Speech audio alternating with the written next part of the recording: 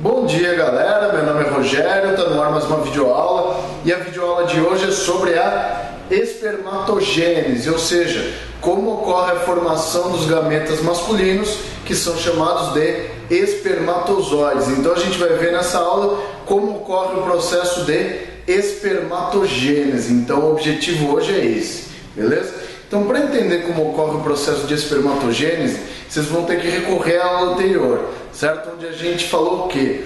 Que os espermatozoides, esse processo de espermatogênese ocorre dentro dos testículos, certo? Então o processo de produção dos espermatozoides está ocorrendo dentro do seu saco. Então é aqui dentro do escroto que está ocorrendo a espermatogênese, beleza? Então para entender melhor como ocorre a espermatogênese, a gente vai ter que dividir o testículo, como foi na aula anterior, em duas partes funcionais, porque a gente viu que os testículos são órgãos flex, porque participam do sistema endócrino e do sistema reprodutor. Então vamos dividir ele aqui. A primeira divisão que a gente faz são os túbulos seminíferos, certo? Os túbulos seminíferos, que são aquela rede de tubos que tem dentro dos testículos, elas correspondem a aproximadamente 90% do peso da sua bolinha, certo? Então 90% das suas bolas são compostas por túbulos seminíferos, certo? A segunda parte funcional são as células de Leydig, certo? Que são chamadas também de células intersticiais. Por que células intersticiais? Porque elas ficam entre os túbulos seminíferos. Então, se você olhar os túbulos aqui, essas pintinhas aqui, ó, que ficam entre os túbulos, são chamadas células intersticiais ou células de Leydig, que são essas células entre os tubos, certo? Então, as duas partes funcionais do testículo são os túbulos seminíferos e as células de Leydig, certo? Os túbulos seminíferos, eu peguei um túbulo seminífero aqui, ó, e eu ampliei ele aqui, ó. Então, aqui vocês estão vendo a ampliação de um túbulo seminífero. Então, a ampliação do túbulo seminífero, vocês podem comparar com esse cano aqui, ó, certo? Então, esse cano tem o que? Tem as suas paredes, que você vê que tem a parede do túbulo aqui, ó, e ela tem a parte aqui por onde corre a água, que é o que a gente tem aqui também, certo? Que é esse espaço oco, certo? Que aqui a gente tem um espaço oco também.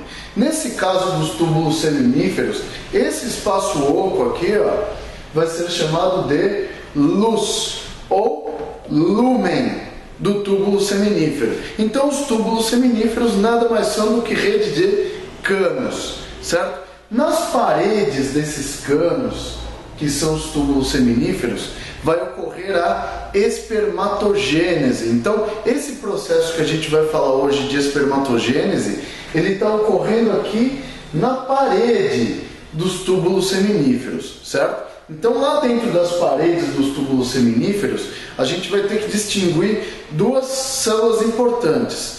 A primeira são as células germinativas, que aqui estão em azul, ó que é essa maior quantidade de células aqui. Essas células germinativas vocês conhecerão aqui do lado do gráfico com o nome de espermatogônias, certo?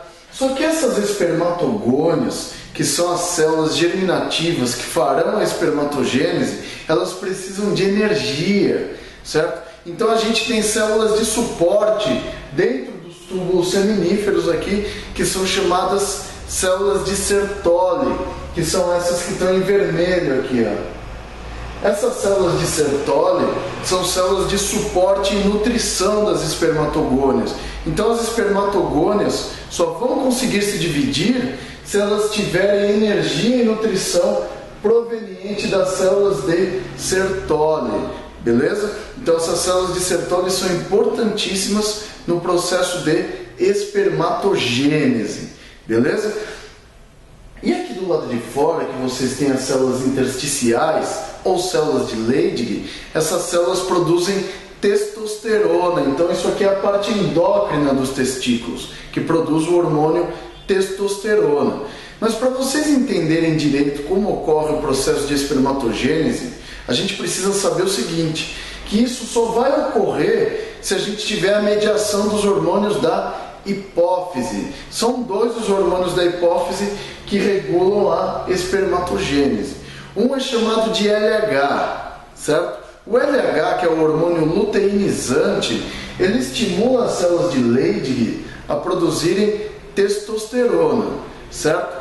E essas células de Leydig vão estimular as células de Sertoli a trabalhar. Então o LH ele tem uma participação secundária na ação das células de Sertoli, beleza? O FSH, que é o hormônio folículo estimulante, que também é secretado pela hipófise, ele age diretamente sobre as células de Sertoli, certo? E elas vão conferir nutrição para dar energia para a espermatogônio, certo? Ou seja, para a gente ter o processo de espermatogênese, primeiro, o LH precisa estimular as células de Leydig e elas vão produzir testosterona. E a testosterona tem um efeito sobre as células de Sertoli. E o FSH, que é liberado na hipófise, ele tem ação direta, ele se liga diretamente às células de Sertoli que vão conferir nutrição. Se eu estimular as células de Sertoli, elas vão dar nutrição para as espermatogônias e elas conseguem se multiplicar, certo? Ou seja, para a gente ter o processo de espermatogênese é necessário que a gente tenha o estímulo da hipófise com os hormônios LH e FSH. Tudo bem? Então a gente tem uma química hormonal que vai ser importante aí para a gente produzir constantemente os espermatozoides. E esse processo de espermatogênese irá ocorrer aqui dentro deste túbulo, beleza? Ele vai ocorrer desde a membrana basal, que é essa membrana mais externa, até a luz do túbulo seminífero. Então esse processo que a gente vai falar desse lado aqui, ele vai ocorrer nesse sentido aqui, ó da membrana basal para a luz do túbulo seminífero. Certo? Então as espermatogônias, que são as células germinativas, ficam próximas à membrana basal. Aí elas vão se dividindo, descendo, até a formação do espermatozoide aqui embaixo. E aí quando o espermatozoide é produzido, ele vai ser liberado na luz do túbulo seminífero e conduzido aos epidídimos, onde será amadurecido e por lá ficará por uns 15 a 20 dias. Beleza? Então é importante aqui que vocês vejam como que funciona aqui o túbulo seminífero nas suas paredes e que esse processo que a gente vai falar agora ocorre da membrana basal para a luz do túbulo seminífero. Então eu vou fazer o seguinte, eu vou fazer um corte aqui, ó, certo? Eu vou pegar essa parte. Então o processo que a gente vai ver aqui, ó, está ocorrendo daqui para a luz, certo? Da membrana basal para a luz do túbulo seminífero. Para entender esse processo aqui, a gente tem que ver o nome dessas células. Vamos lá. As células germinativas que vão fazer espermatogênese são chamadas de espermatogônias. Então isso aqui ó, é uma espermatogônia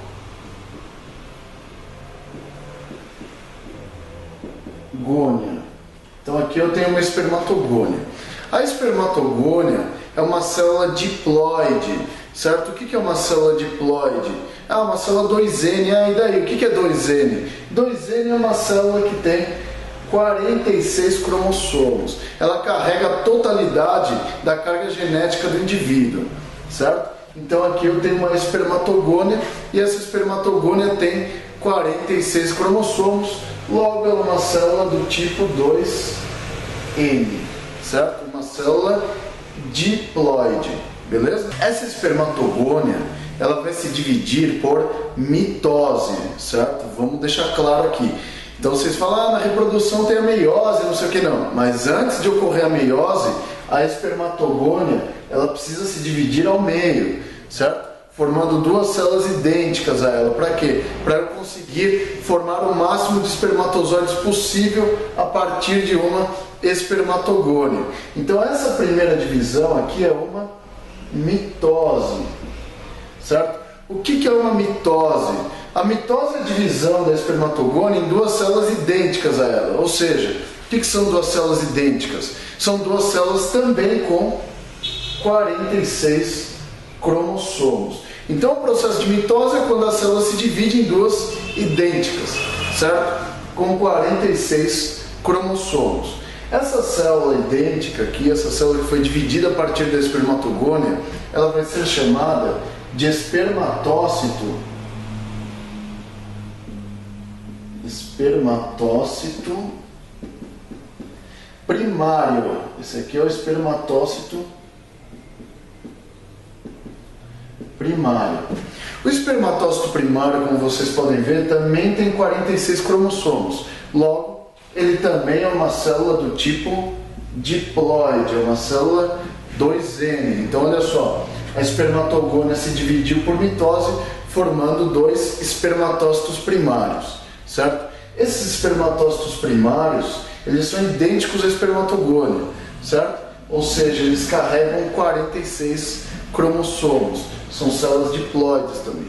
Agora, a partir daqui, ó, aí sim, a gente vai ter o processo de meiose. E a meiose é feita em duas etapas, certo? Então, essa aqui ó, vai ser a meiose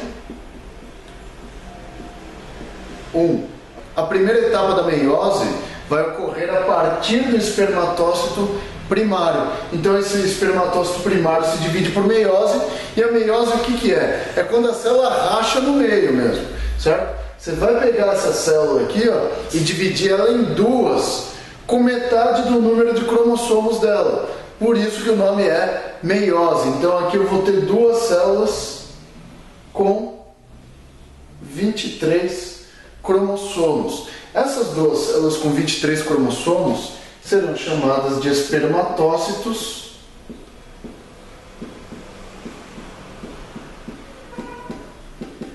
espermatócitos secundários. Certo? Neste caso, como vocês podem ver, ó, elas têm 23 cromossomos cada. Então elas não vão ser 2N. Então nesse caso vai ser metade, elas vão ser células N certo? Que são chamadas de haploides. Ou seja, as células haploides, elas carregam 23 cromossomos. Isso a gente chama de N. As células diploides têm o dobro do número de cromossomos, ou seja, elas são 2N, ou seja, é 23 vezes 2, são 46, beleza? Então a diferença entre as células diploides 2N e as células haploides N é que as diploides têm 46 cromossomos e as haploides têm 23 cromossomos. Como o processo de meiose ocorre em duas etapas, o espermatócito secundário também vai ter que realizar outra meiose. E aí ele vai realizar a meiose 2. Certo?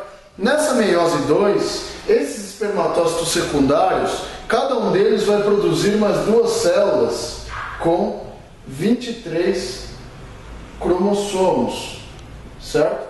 Essas células formadas a partir do espermatócito secundário, realizando a meiose 2, são chamadas de espermátides. Essas aqui são as famosas espermátides. Certo? E essas espermátides vão sofrer um processo de diferenciação, achatando-se e tendo a formação de um pequeno flagelo, e essa diferenciação, esse processo, é chamado de espermiogênese, certo? Espermiogênese. Essa espermiogênese, que é o processo de diferenciação das espermátides, essa espermiogênese, que é o processo de diferenciação das espermátides, vai dar origem aos espermatozoides.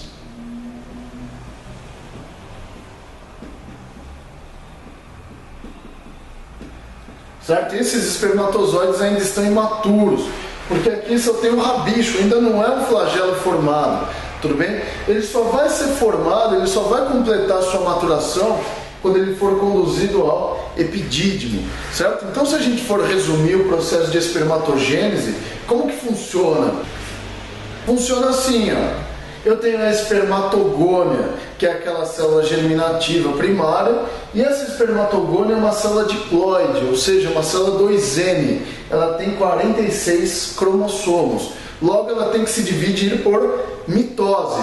Para quê? Para formar mais espermatócitos. Quanto maior a divisão das espermatogônias, maior a formação de espermatozoides que a gente pode ter. Tudo bem? Então é por isso que as espermatogônias precisam primeiro se dividir por mitose, certo? Então o primeiro processo aqui é a mitose.